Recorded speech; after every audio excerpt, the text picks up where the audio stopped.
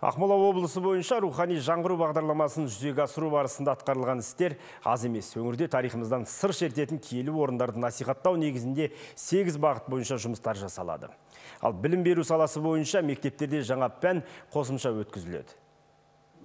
Тарихымызды түгендеу мақсатында Ақмола облысы бойынша 8 бағыттың негізінде киелі жерлерді жаңғырту жұмысы атқарылды. Ашық аспан астында Құмай археологиялық этнографиялық кешені ашылды. Сондай-ақ Олжабай батыр, Үмбет Ежрау, Саққұлақ би, Бөгенбай батыр, Жәнібек хан, Уали хан, Балуан шолақ, Біржан сал, Киікбай батыр, Баубек батыр секілді қазақтың біртуар тұлғаларына арналған кесенелер мен ескерткіштерді тамашалауға болады. Оларды насихаттау жұмыстар бойынша да жобалар жүзеге асырылып жатыр. 2017 жылдан бастап біздің орталық тарапынан ескерткіштер сыр шертеді деген жоба болған. Яғни бұл qr код тақшаларын әзірлеу.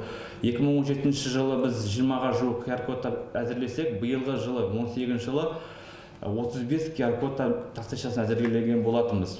Бурабай ауданы бойынша биылғы жылдың елеулі оқиғаларының бірі ашық аспан астында президенттің қатысуымен біржан сара операсы қойылды. Туристер үшін бурабайға кіреберіс аумақта ботай мәдениетінен сыр шертетін кешен бой көтерді. Сондай ақ өлкетану музейі ашылды.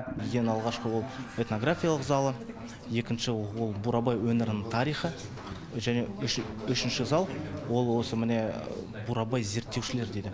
Білім беру саласында атқарылып жатқан жұмыстар да аз емес. Өлкетану деп аталатын кітаппен бес пен жетінші сынып аралығындағы оқушыларға қосымша сабақ өткізіледі. Сондай ақ бағдарлама аясында ұлттық құндылықтарымызды насихаттайтын журнал ай сайын басылып шығатын болады. Ерболат асылбеков информбюро ақмола облысы.